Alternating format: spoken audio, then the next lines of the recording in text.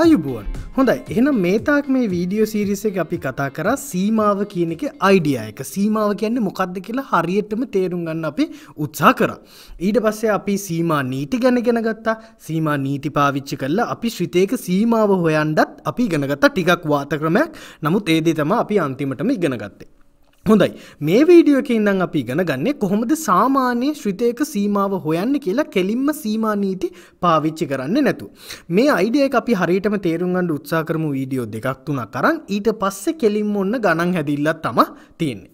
රයි් මම මේ ඩිස්කශන් එක පටන්ගන්ඩ මේ වීඩියෝ සීරියස් එක පලවෙනියෙන්ම කරපු වීඩියෝ එකට අපහු යන කල්පනා කල්ල බලන්න මං ඒ වීඩියෝ එක පලවෙනියෙන්ම කතා කරපු සිතේ තමා එක් වර්ගේ අපි එක් වර්ගේ සීමාව හෙව්වා එක් දෙක කරා ලංවෙනකොට කවුද සීමාව කියලා?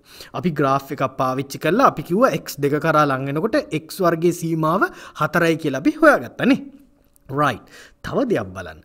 එක් සමානයි දෙක කියන මොහොතේ දිශ්‍රිතයාගේ මොකක්ද දෙකේ වර්ගය හතරයි.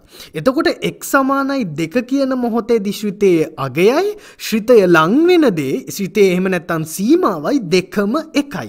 මේ අවස්ථාවේදී සීමාව සහ ඒ මොහොතෙදි ශ්‍රිතයගේයි කියන දෙකම එකම දේ ඒ කියන්නේ ඒ දෙකම හතරයි. හරි මේක ඉතාමත්ම හොඳ කේස එක මේක හැමවෙලේම වෙන්නේ නෑ නමුත් මේකට අපි කියමු හොඳ අවස්ථාවක් කියලා. ඊට පස්සේ අපි කලින් වීඩියෝකේ සීමා නීති පාවිච්චි කරලා 3x වර්ගය දන 5x අඩු කිරීම හත කියන ශ්‍රිතේ සීමාව හෙව්වා x තුන කරා ලං වෙනකොට. සීමා නීති වලින් අපි ඒක කිව්වා 35 කියලා. රයි් ඒ ගැන මේකෙන් අදස් කරන්නේ මේ ශ්‍රිතය ලංවෙන්නේ තිස් පාට එක් තුන කරා ලං වෙනකොට. හැබැයි මං කියනවට බලන්න එක්වනුවට තුන ආදේශ කල මේ සිතයට මොකක් දෙන්න කියල බලන්න ඒත් තිස් පහෙන්නේ. හරි එතවට මේකත් අර හොඳ කේස් එක. මොකක්ද හොඳ කේස් එක හොඳ කේස් එක තමා X යම්කිසි අංකයක් කරා ලංවෙනකොට ශ්‍රිතයේ සීමාව එන්නෙත් ඒ X ඒ ලංවෙන අංකය ගන්න මොහොතෙදි ශ්‍රිතය අගේම තමයි ගැන මෙතන F ගේ එක් වෙනුවට ඒ ආදේශ කල්ලා එන්න උත්තරේම තමා සීමාව වෙන්නේ. මේකට අපි කියමු හොඳ කේස් එක කියලා. හරි මේ හොඳ කේස් එක මේ හොඳ කේස් එක තියනකට ශිතේ සීමාව හොයන්ට හරිම ලේසි උදාහරණයක් හැටියට හිතන්න සීමාව හොයන්ට තියනවා කියලා එක් තුන කරාලං වෙද්දි එක් දන්න නමය කියන ශ්‍රිති. මොකක්ද සීමාව මං කියනට විශ්වාසකන්ට එක් දන නමේ හොඳ ශ්‍රිතය. එතකොට අපි කොමද සීමාවහයන් කෙලින්ම එක්සනුට තුනාදේශකන්ට නමේ දන්න තුන දොළහයි සීමාව දොළහයි. රයිට් මෙහෙම ශ්‍රිත තියෙනකොට මෙහෙම කේස් එකක් තියෙනකොට සීමාව හොයන එක පට්ට ලේසි කෙලින්ම එක් වෙනුවට ආංක ඒ අගේ ආදේශ කරන්න සීමාවහයන්ට පාවිච්චි කනගේ ආදේශ කරන්න ශ්‍රිතය එක් වෙනුවට කෙලින්ම ඔන්න ඕගොල්ලන්ට සීමාව එනවා. හරි ආයත් මම කියන මොකක්ද මේ හොඳ කේස් එක ශ්‍රිතයේ සීමාවයි එහෙම නැත්තන් ශ්‍රිතය ලංවෙන අගය සහ ඒ ශ්‍රිතේ ඒ මොහොතෙදියගේයි දෙකම සමාන වෙන කේස් එක තම අපි හොඳ කේස් එක කියලා කියන්න. හොඳ එහෙන අපිට හොඳ කේස එකත් තියෙනවා කියන්නේ නරක දෙයක් අනිවාර්යෙන්ම තියෙන්න එපා. එතකොට මොකද්ද නරක කේස් එක? කල්පනා කළ බලන්න. මෙන්න තවත් ශ්‍රිතයක් මේ ශ්‍රිතේ සීමාව හොයන්න ඕනේ මට x තුන කරා ලං වෙද්දි. මේ උදාහරණෙත් අපි කරා මං හිතන්නේ තුන්වෙනි වීඩියෝ එකේ math software එකක් පාවිච්චි කරලා හොඳේ අපි සීමාව හෙව්වා මතකද? මේකේ සීමාව එහෙම පාවි හොයව හෙවපු එකෙන් මට ආවේ 27 කියලා. ඔයගොල්ලන්ට මතක නැත්තම් ඒ තුන්වෙනි වීඩියෝ එක බලන්න. දැන් අපි එක්සනුට තුන ආදේශ කරල බලු. ද එක්වනුවට තුන දැම්මොත් හරෙන්නේ මොකද තුන අඩු කිරීම තුන බින්දුවයි දැම් මෙත්තනම ප්‍රශ්නයක් තින මොකද අපට බින්දුවෙන් බෙදන්න පුළුවන්ද? බින්දුවෙන් බෙදන එක ගනිතය හොඳ දෙයක් නෙවේ ඊටත් අමතර බලන්න ලවේ මොකක් දෙන්න කියලා. තුනේ තුන්වැනි බලය විසි හතයි විසි හත අඩු කිරීම විසි අත මොකද ඒත් බින්දුවයි එතකොට බින්දුව බෙදීම බින්දුවක් කෙන ඔන්න බින්දුව බෙදිම් බින්දුව එක එහෙම නෙවේ හොඳ මේ අපි කිනො ගනිතයේ අර්ථ දක්වන්නේ නෑ කියලා. බින්දුව බෙදීම බින්දුවට තේරුමක් නෑ. හරි හිතන් ඒක ගනිතය නෑ කියලා හිතුවත් කමන්න මේක තමාන් එක්තරා එක නරක අවස්ථාවක්. දැම් බලන්න මොකක්ද නරක අවස්ථාව? ශ්‍රිතය එක් තුන කරා ලංවෙද්දි ශ්‍රිතය ලංවෙනවා වගේ පෙන්න්නන්නේ විසි අතට ඇබැයි තුන කියන මොහොතට ගියාට පස්සේ මෙතන අපිට බලපු ගමන් අර්ථ නොදැක්වෙන අවස්ථාවක් එනවනේ. එතකොට මේක නරක අවස්ථාවක් කියලා අපිට කියන්න පුළුව. ශ්‍රිතය නරකට හැසිරෙනවා තුන ළඟදි. ඒක බොහොම වැදගත්. හරි? මෙතන ප්‍රශ්නය තම ශ්‍රිතය නරකට හැසිරෙනවා ශ්‍රිතය පිස්සු කෙලිනවා. හැමතැනම නෙවේ තුන ළඟදී. හරි මොකද එක් සමානයි තුන වෙනකොටන හරය අපි හරය අපි බෙදන්ඩ වෙනි බින්දුවේ දැම් මෙහෙම කල්පනා කරල බලන්න අපි ඉතන්න මේ ශ්‍රිතයම ගන්න. හරි මේ ශ්‍රිතයම අරගෙන අපි සීමා හොයනවා එක්ස් පහ කරාලංවෙදි. දැම් මේක නරක අවස්ථාවත්. බලන්න දැන් අපි පහ ආදේශකරොත් පහේ තුන්වැනි බලය මට මතක හැටියට එකසී විසිපායි එකසී විසිපා. අඩුකිරීම විසිහත. බෙදීම පහඩු කිරීම තුන කියද දෙකයි. දැ මේක හොඳ අංකයක්න. එක සිසිපයි විසිත අඩුකිරීම අඩුකරපම අනුවටයි. අනුවට බෙදීම දෙක හතලිස් නමේ කිසි ප්‍රශ්නයක් නෑ. හරි? මේ ශ්‍රිතය පිස්සු කෙලිය නෑ. හරි? නික අමුතු දේවල් දුන්නේ නෑ. අපිට මේ අවස්ථාවදි. ඇයි එච්චට ඇයි ඇයි ඇයි මුකුත් නර්ක දෙයක් උන්න ඇත්තේ. මොකද ශ්‍රිතය හොඳට හැසිරෙනවා සීමාව හොයන්ඩ අපි පාවිච්චි කරන අංකය ගාවදි. අන්න ඒක තමා වෙනස.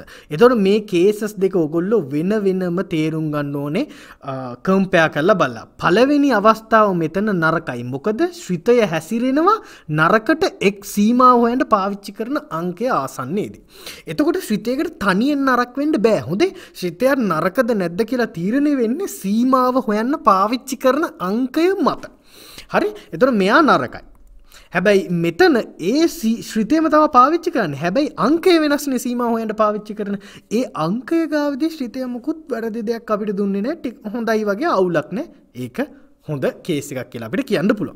එතකොට සාරාංශය තමා මේ සීමාව හොයනවා කියන එකේදී සීමාව හොයනවනං ඕගොල්ලො ශ්‍රිතයක සීමාව හොයනවනං ඉස්සල්ලාම ඔයා බලන්න ඕනවාට හොඳ කේස එකත්ති නොද වට නර්ක කේසියත්ති නොත් කියලා. මොකද ඒ තියෙන දේ අනුව තමා ඇනේ ගහන්නේ. හරි? තැන අනුව තමා ඇනේ ගහන්නේ. එන විදියට තමා අපි මේ ගේම් එක කරන්ඩෝනි හරි? හරියට ක්‍රිකට් ගානාවගේ වැටෙන බෝලය අනුව තමා අපි සෙල්ලම කරන්නුවනේ. එතකොට අපිට හොඳ කේස්සගත්ති නවා. ශ්‍රිතය හොඳට හැසිරෙනවනම් සීමාව හොයන අංකය ගාවද අපිට කෙලින්ම ඒ අංක ආදේශ කලා සීම හොයන්ට පුළ මේ කේස්සක වගේ මෙන්න මේ උදාහරණ වගේ ඔක්කොම ලේසි. හැබැයි ඕගොල දන්න මොකක්ද රියලිටිය එක ඕගොල්ලන්ට ඒලෙවල් වලදි ගානක් දෙනවන එහෙම නැත්තම් විභාගෙදි ගානක් දෙනවන. බොහෝ දුරට ඒක නරක කේසයක් වෙන්ඩ ඉඩකඩ තියනවා.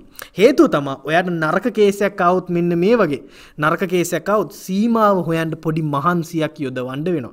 පොඩි වැඩ කීපයක් කරන්නනවා දැන් ඔගොල මේ උදාහරණයේදි හොඳටම පේනවා තුන ආදේශ කලන්න සීම හොයන්ට බැමකොද සීමාව විසි හතයි.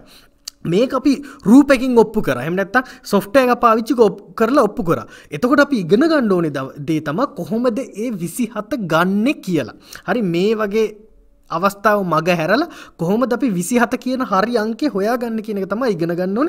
එතොට විභාගෙදි හරි කොය හරි ගානත් දෙනවනං සීමාවේදි මේ වගේ අමාරු කේස් එක දෙන අමාරු ගානක් තමා බොහෝ දුරට අපිට බලාපොරොත්තු වෙන්න පුළුවන්. හොඳේ?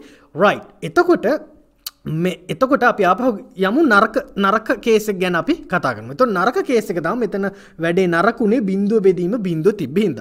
එතකොට තව මොනවද නරක අවස්ථා. තව මොනුවද නරක එහෙමනැත අර්ථ නොදැක්වෙන අවස්ථා. මෙන්න මේව තමා ගනිතයේ අර්ථ නොදැක්වෙන අවස්ථා. මොනවද බින්දුව බෙදීම බින්දුව බෑ බින්දුව බින්දුවෙන් බෙදන්න බෑ අර්ථ නොදැක්වේ. අනන්තය බෙදන්න බෑ බින්දුවෙන් අර්ථ නොදැක්වේ. අනන්තය බෙදන්න බෑ අනන්තයෙන් අර්ථ නොදැක්වේ අනන්තය අනතය කපන්ඩ හෙම බෑ හොඳේ.